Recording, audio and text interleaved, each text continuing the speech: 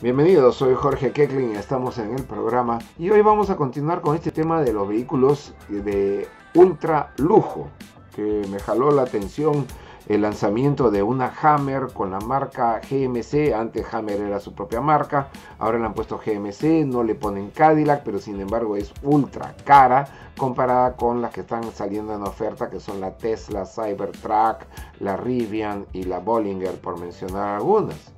Y luego vi un eh, resultado de las marcas alrededor del mundo, las top 10 de las marcas. La verdad es que no lo he visto en, en detalle, pero ahí figura Mercedes-Benz y luego figura Toyota. Y Mercedes-Benz es la marca de lujo.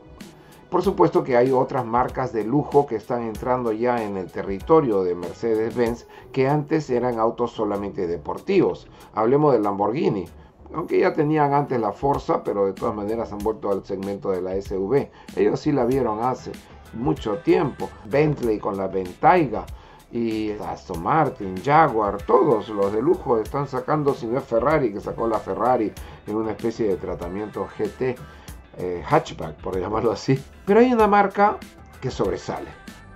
Rolls Royce. Mr. Rolls y Mr. Royce. Esa es la marca que sobresale.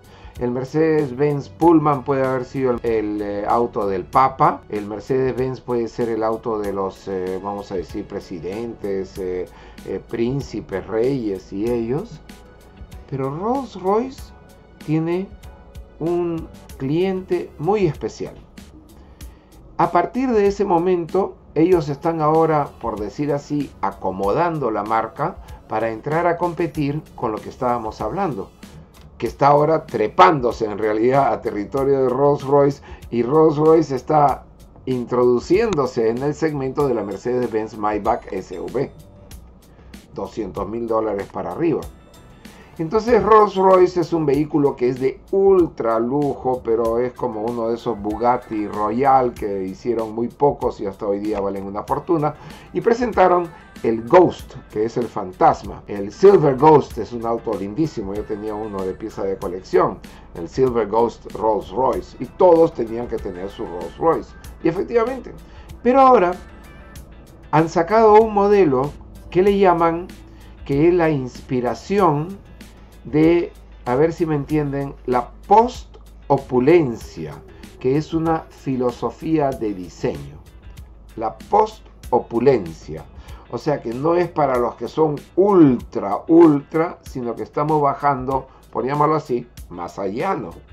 Y han presentado ahora el Ghost, que es los primeros que están llegando, que es para una nueva generación de empresarios británicos. Es la puerta de entrada a estos empresarios británicos en el que tienen este muy avanzado tecnológicamente Rolls Royce, pero que siempre es un suceso de la marca en el mercado local y alrededor del mundo para hombres, para mujeres, pero este de aquí es un eh, modelo que es el New Ghost, que es resultado de un diálogo exhaustivo con los clientes. Y muchos demandaron un auto que sacara de encima ese branding, ese extra, esa opulencia, que la tecnología, no, ame un auto más para mí, para esta nueva generación de empresarios británicos que quieren comprarse un Rolls Royce y no se quieren comprar un Mercedes-Benz S, porque Rolls Royce, los dueños son BMW, de que va a haber una competencia en este segmento donde por supuesto quieren entrar Ferrari, Maserati, Jaguars y, hasta Lincolns en esta eh, Cadillacs en este segmento. Así que es un auto interesante porque tiene un rol muy importante, particularmente importante, en definir la dirección del diseño del nuevo Ghost. ¿Y saben dónde se inspiraron? En un edificio que se llama el Shard.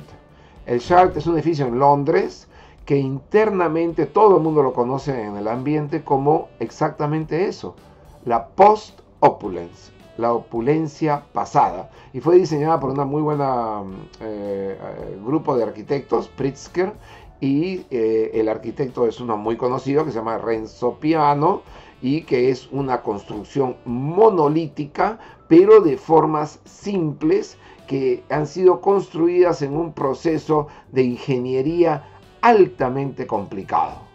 Altamente complicado esta construcción.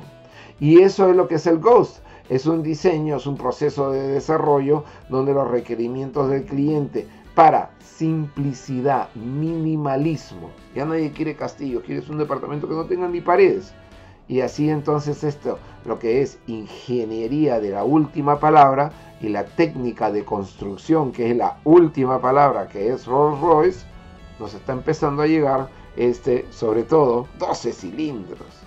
12 cilindros, eso es eh, con inyección directa y produce más o menos que suficiente. 563 caballos para mover esta eh, mole que es de 2.553 kilos. Este auto pesa 2.5 toneladas. Y la velocidad final, 155 millas por hora. ¿Cuánto es eso? 250 kilómetros por hora. De 0 a 100 kilómetros, 4.8 segundos. Lo que están acostumbrados a, los términos gringos de 0 a 60, 4.6. Así es que ahí lo tienen. Es un Ghost, es un nuevo Ghost y que van a poder verlo quizás en las calles en muy pocos países. Este es Jorge Keckling con el segmento de lujo, de ultra lujo en nuestros comentarios.